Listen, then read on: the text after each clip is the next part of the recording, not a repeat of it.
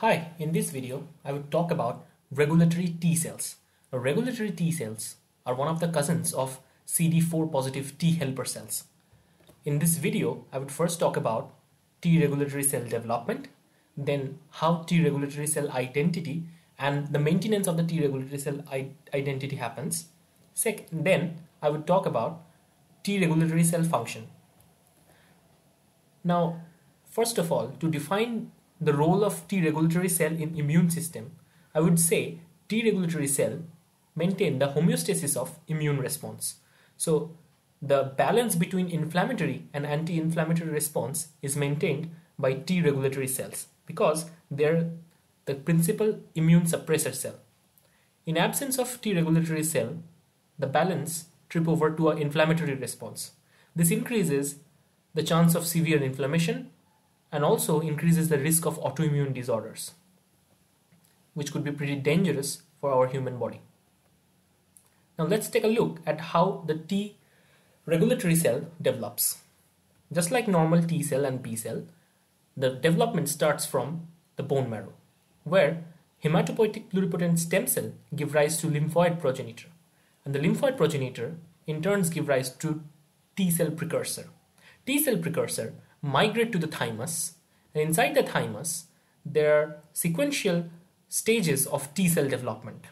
At the end, the immature T cells, which learn to recognize peptides loaded on MHC class 2 molecules, start expressing CD4 plus co-receptor and downregulates expressing and downregulates CD8 co-receptor. And these CD8 positive T cells become T helper cells. Among these CD8 positive, CD4 positive T cells, some of them becomes T regulatory cells. Though the mechanism of how these some pool of these CD4 positive cells become T regulatory cells is not clear, but there are some insights to it. Now, it's a million dollar question that how some CD4 T cells become T regulatory cells. So what is so different about T regulatory cells? It turns out that apart from TCR and T cell receptor and CD4 co-receptor, T regulatory cell expresses high levels of interleukin 2 receptor alpha chain. Also, it expresses the transcription factor of fork head form family FOXP3 and they maintain the high level of this transcription factor level. Now, FOXP3 is the lineage marker for these T regulatory cell. And FOXP3 is known as the master regulator, which converts a CD4 positive T cell to a T regulatory cell like fate. It has been seen that FOXP deletion in the germline ultimately lead to improper development of the T regulatory cell and increases the probability of autoimmune disorders. On the other hand side, the opposite is true. Now, if you overexpress FOXP3 in a CD8 positive T cell, then it would give rise to a T regulatory cell like character and start expressing interleukin 10, IL-10. Now, scientists think apart from this genetic predisposition, there could be other epigenetic mechanisms which can lead to T regulatory cell specification. A recent study has shown that a very small portion in the DNA which is present in all the T cells which are generally methylated are found to be unmethylated or demethylated in case of T regulatory cells. That means they are accessible to many transcription factor. So a lot of transcriptional programs that is happening in the T regulatory cells could be very different from a normal CD4 positive T cell. Now FOXP3 gene contains several introns and there are several evolutionary conserved non-coding sequences present in these introns and those are found to be enhancer.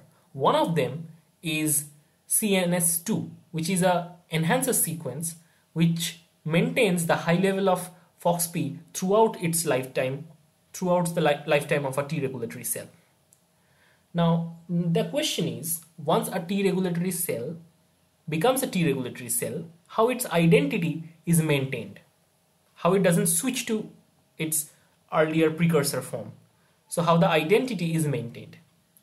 It has been seen when the CD4 positive cells switch into CD4 positive Treg cell, then there is a high expression of FOXP3 which is maintained throughout its lifetime. So FOXP3 expression, a high level of FOXP3 expression could be the key to this question.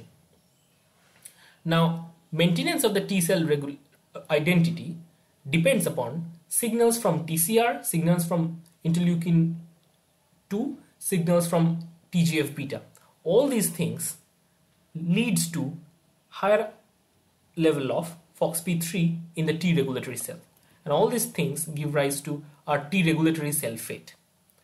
Now, T regulatory cell has important anti-inflammatory function. So here is a macrophage. Now macrophage can generally secrete pro-inflammatory cytokines such as IL-1, IL-6. Now T regulatory cell engage with macrophage and prevent them for secreting these cytokines. In this example, macrophage can also regulate other and help activation of other CD4 positive T cells and thereby activation of other immune components. But T regulatory cell interacts with the macrophage and thereby preventing the macrophage from activating another T CD4 positive T cell.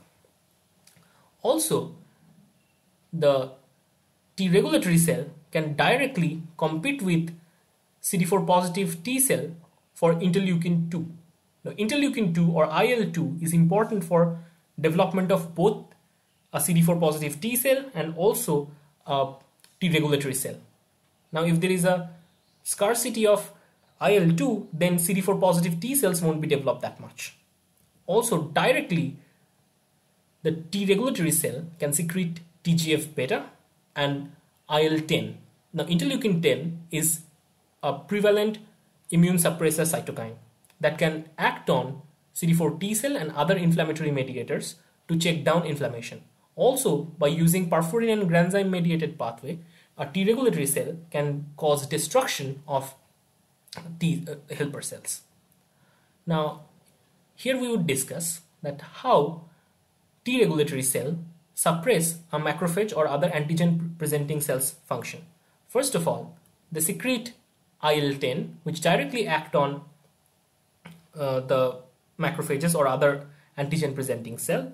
Otherwise, they have an inhibitory receptor known as CTLA4 which interacts with CD80 or 86 and ultimately give rise to a signal to the nucleus which prevents the expression of several pro-inflammatory cytokines and thereby in thereby the inflammatory response is reduced.